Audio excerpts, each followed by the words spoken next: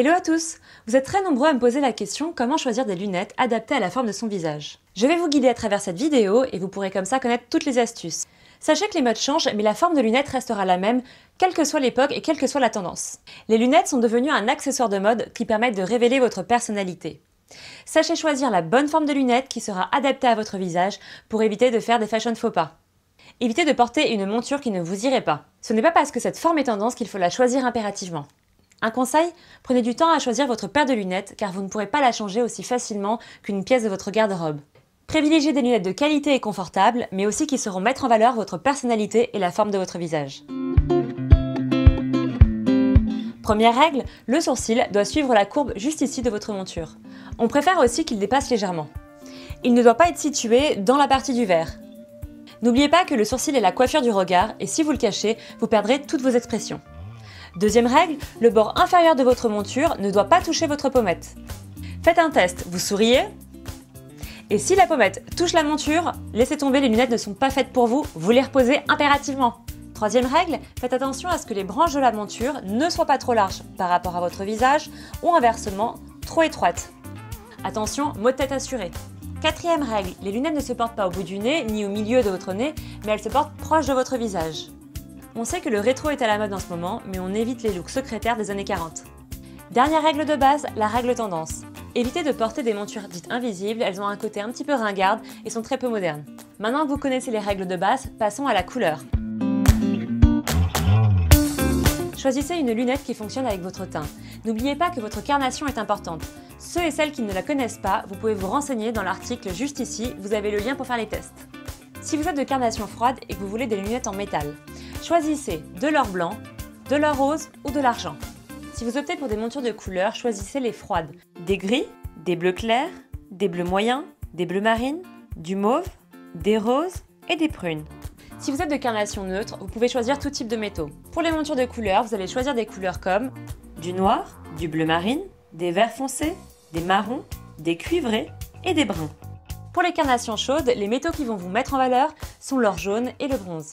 Le choix de vos montures couleurs se porteront sur des noirs, des bruns, des verts foncés, des rouges foncés ou même des rouges primaires, des orangés et même des jaunes. Dernière règle, apprenez à connaître la forme de votre visage. Comparez par rapport au croquis suivant. Vous pouvez vous regarder devant le miroir ou demander à un de vos amis quelle est la forme de votre visage. Le visage rond. Vous avez un visage rond si les lignes de vos pommettes sont sans angle et le menton est arrondi. Optez pour une monture de forme structurée pour rompre avec la rondeur de vos traits. Par exemple, le rectangle, le carré, le papillon structuré pourront être parfaits. Ces formes vont allonger, affiner et apporteront du dynamisme à votre visage. Surtout ne portez pas une monture ronde à moins que vous souhaitiez accentuer le côté rond de votre visage, c'est un parti pris alors faites ce que vous voulez. Passons au visage carré. Vous avez une mâchoire forte, les os du front saillants avec de larges pommettes et un menton plat, vous avez donc un visage qui est carré. Pour vous, le maître mot, ça va être d'adoucir. Choisissez des formes ovales, aux lignes courbes, vous allez voir que la rondeur a fait un grand grand retour et est devenue très tendance. Elle va fonctionner parfaitement avec votre visage et va vous donner un petit côté intellectuel. Si vous voulez aussi un look rétro, vous pouvez essayer les formes papillonnantes rondes. Par contre, à ne pas faire, n'essayez pas de porter des formes carrées qui vont accentuer la forme de votre visage. Elles risquent de vous durcir. On continue avec le visage ovale. Si vous avez un visage fin et que vos pommettes sont plus larges que votre front et votre menton, c'est que vous êtes un visage ovale. Quand on regarde vos proportions, vous êtes parfaitement équilibré. Du front à votre nez, on retrouve exactement la même proportion que du nez à votre menton. Pour la faire court, tout va vous aller. Vous êtes vraiment des petits vénards. Sachez que votre visage est tellement régulier qu'il s'adapte à toutes les formes de lunettes. Par contre, faites attention et ne cachez pas votre sourcil avec la monture et surtout ne prenez pas trop large. On va passer à la forme allongée qui est aussi la forme de mon visage. Votre visage est plus long que large. La largeur de votre mâchoire est dans l'alignement de celle de vos tempes. Ce qui fonctionne parfaitement sur les visages allongés, ce sont des montures rondes pour rééquilibrer les traits. On peut rendre la forme de votre visage plus courte avec des montures rectangulaires et larges. Pour élargir votre visage et donner une touche de glamour, optez pour des formes ovales et papillonnantes. Surtout n'achetez pas de formes rectangulaires trop étroites, elles vont vous durcir les traits et allonger votre visage.